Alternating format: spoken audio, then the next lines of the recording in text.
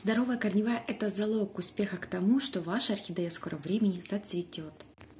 Многие до сих пор, правда, в недоумении, почему нужно стимулировать орхидею к буйному росту корневой системы.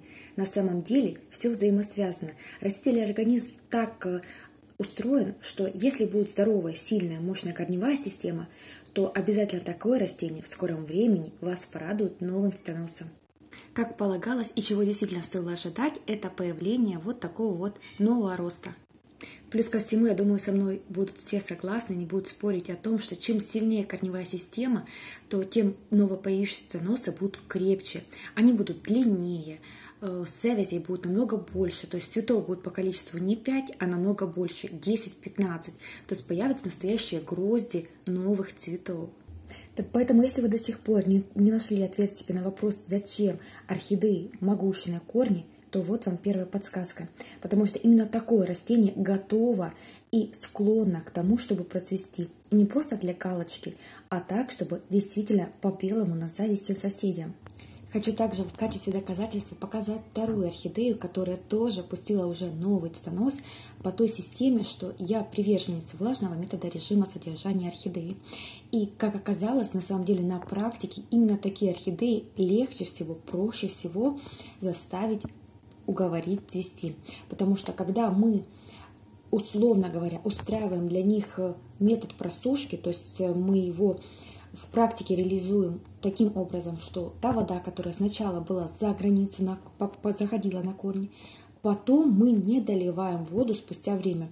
То есть она не касается вода корня и постепенно-постепенно начинает испаряться. То есть мы таким образом имитируем действительно условия засухи. Как сами понимаете, именно такие условия, которые лояльные, которые не допускают пересушивания корней, но при этом влияют на то, что растение понимает, что наступает период засухи, то есть наступают такие условия смены, когда действительно нужно устроить не стресс в буквальном понимании, чистом понимании этого слова, прямом понимании, а именно какой-то такой смена обстановки, которая заставляет именно за счет выработки большего количества углекислого газа повлиять на зарождение новых клеток именно цветоноса.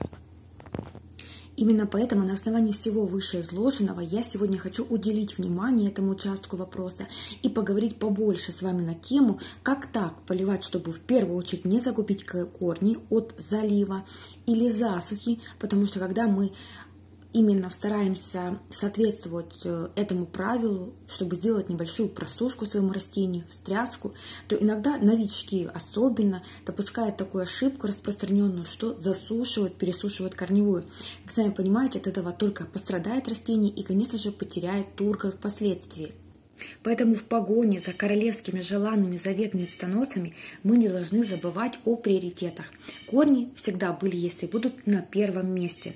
Они действительно располагают орхидею, готовят ее к здоровому цветению. То есть тому цветению, которое будет качественным, длительным и, конечно же, таким вот э, завидным. Для того, чтобы вода могла прослужить дольше орхидеям, она должна быть, конечно, соответствовать таким критериям, как мягкость и питательность. Поэтому мягкость мы можем с вами организовать благодаря использованию таких кислот, как лимонная кислота, в первую очередь, потом аскорбиновая, борная, янтарная. То есть те кислоты, которые помогают еще усиливать состав воды. Такая вода, она будет обогащена витаминами, минералами, аминокислотами, то есть тем, что может провоцировать, конечно же, усиленный фотосинтез, усиливает все процессы, которые происходят на межклеточном уровне, метаболизм растения. То есть это, правда, зависит от этого растения в здоровом состоянии. И, конечно же, потом такая корневая – это будет абсолютная реальность для всех и каждого. Такие корни, как пример, хочется показывать бесконечно, потому что это прямое тому доказательство, что можно стимулировать растения к цветению с использованием метода просушки, который должен быть постепенным. То есть вы должны обязательно выделить заблаговременно для этого необходимое количество времени. То есть вы должны понимать, что просушка она будет постепенной благодаря тем условиям, которые окружают э, ваши орхидеи сейчас в неотапливаемый период времени, когда еще период межсезонья, когда еще не включили радиаторы отопления. И это, кстати, нам очень сильно на руку, потому что ночью э, температура сильно опускается. Мы можем оставить на микропроветривание, и тем самым мы создадим такие условия, которые нам обеспечат разницу температур. Как вы знаете, это тот критерий, который тоже помогает для того, чтобы была закладка новых цветоносов.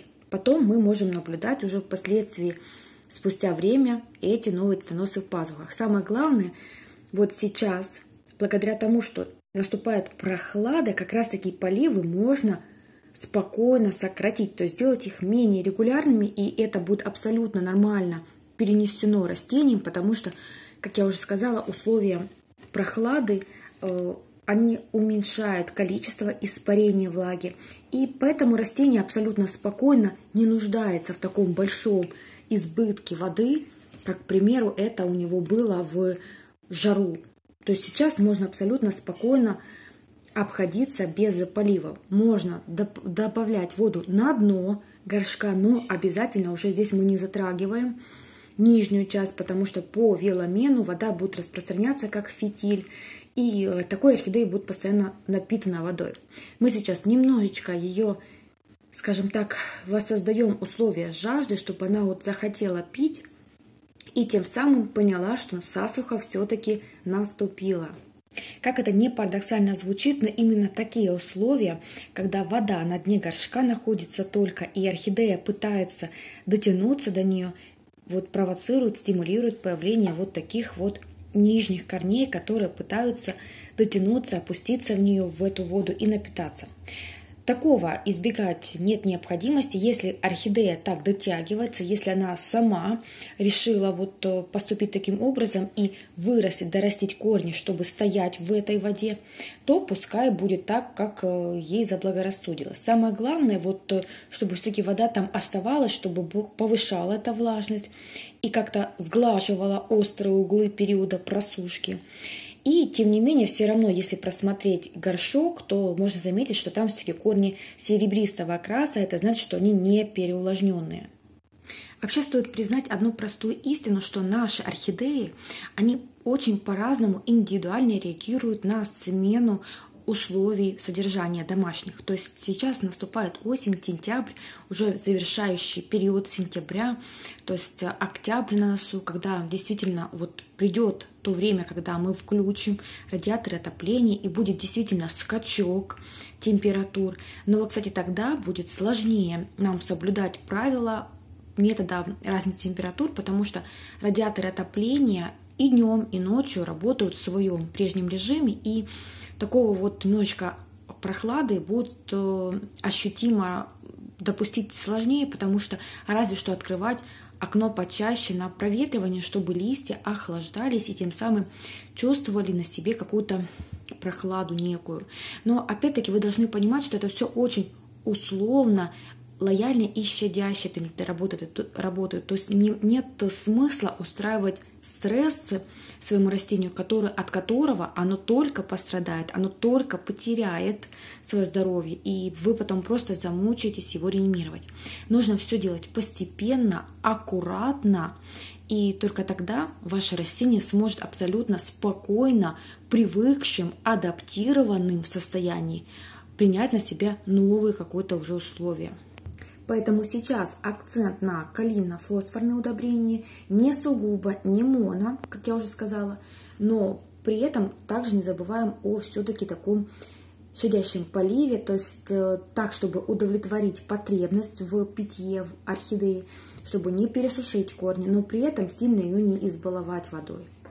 В какой-то степени мы сейчас можем себе позволить отдохнуть от э, постоянных поливов в эту жару, когда нам приходилось э, поливать очень изрядно, постоянно. Сейчас можно действительно сделать передышку. И это пойдет только на пользу растениям. То есть, э, конечно же, такой результат нас устраивает больше всего. Здоровая корневая – это не миф, это реальность. Можно держать в здоровом состоянии корни орхидей, даже не пересаженных. Можно их абсолютно спокойно, на таком же уровне, как и орхидеи пересаженные, стимулировать цветению, готовить их правильно к цветению, такими вот аккуратными, постепенными введением просушки. И абсолютно растение будет готовым к тому, чтобы в свое время пережить это условие а засухи и, конечно же, запустить цикл на запуск, на зарождение новых цветоносов. Можно заметить, что есть конденсат, то есть растение абсолютно хватает влаги внутри горшка, и при этом корни остаются серебристыми. Можно добавлять снизу, что я и сделала. То есть это мне за счет постепенного испарения влаги само воссоздать условия природы, где мы можем потом обеспечить условия для закладки цветоноса.